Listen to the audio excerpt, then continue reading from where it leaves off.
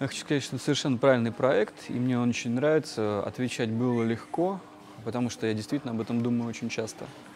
И мне надоело отвечать на стандартные вопросы «почему?», «когда?», «почему на английском?», «зачем новая, э, когда новая песня?» и «какие ваши творческие планы?». А это было действительно очень приятное интервью.